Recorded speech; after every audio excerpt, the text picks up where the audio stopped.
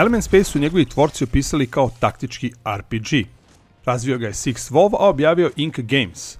Ovo je prva velika igra koju su izdali i dostupna je samo na PC-u. Godina je 2199, a u proteklih 150 godina ljudi su napustili erodiranu zemlju da bi prešli preko zvezda kako bi pronašli novi dom za sebe.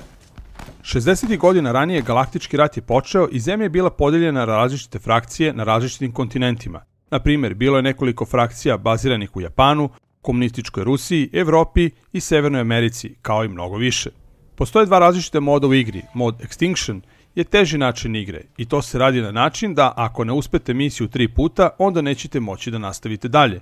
Ne postoji značajna razlika između ovog i normalnog moda, osim što ćete videti kako vaši diplomatski izbori u dijalogu utiču na vas i omogućit će vam da preduzmete više pokušaja na misijama.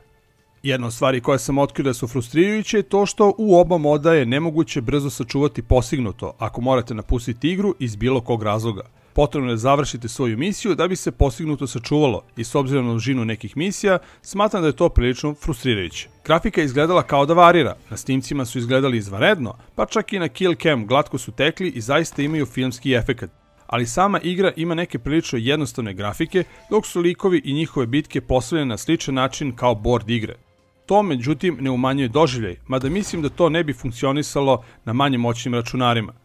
Kada se borite protiv neprijatelja, imate određeni broj poteza u svakom koraku, a vaša okolina se stalno menja. Nemoguće da ostanete na jednom mestu za svaki potez, jer je vaša lokacija stalno u opasnosti, naročito kada blokade imaju ograničeni životni vek pre nego što budu uništeni.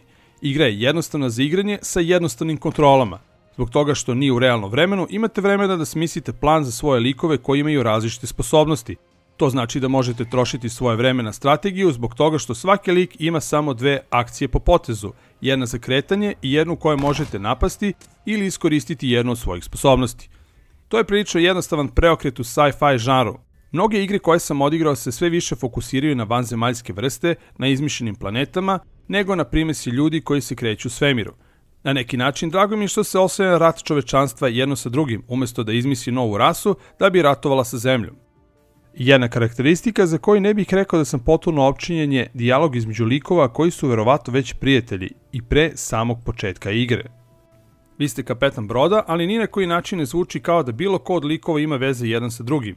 Jun Zao vas zove Ruki, ali nema pokazatelja zašto ste tako zvani.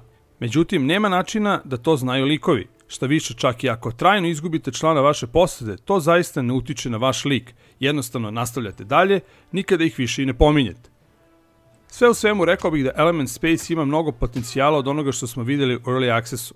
Da svoj prvi naslov sudio Sixth Valve je uradio dosta toga dobro, grafika je dobra, a vi možete da se zadobite u igru i igrate satima. Međutim, Osjećam da ako želite brzu igru, onda ne bih preporučio ovu igru, jer pozicije ne možete snimati ako morate napustiti igru iz bilo kog razloga. Igra deluje nedovršeno, mada sve funkcioniše dosta dobro. Ako volite ovaj žar i nestrpljivi ste, onda možete nabaviti odmah. A ako ipak želite malo bolji ugođaj, možete sačekati još koji mesec kada igra izađe kompletno. Hvala vam što ste nas gledali, želimo vam prijatno igranje.